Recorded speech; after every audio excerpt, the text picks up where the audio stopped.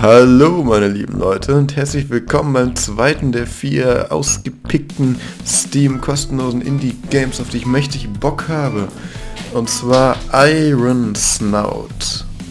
Ein Spiel über ein süßes kleines Schweinchen, das sich durch Button-Mashing, Fighting, äh, Beat'em-up Mechanics scheinbar gegen ganz viele süße, aber verdammt äh, gefährliche Wölfe etc. durchschlagen muss. So grob war die Beschreibung. Und das scheinbar äh, ridiculously brutal.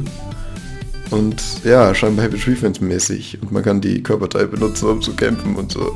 Und das gibt es scheinbar auf dem, auf, dem, auf dem Phone, wie ich sehe. Und es gibt sogar eine richtig kranke äh, Bestenliste hier. Und ja, schauen wir doch mal eben, was das Spiel so aufhört. Aber ich habe Bock drauf.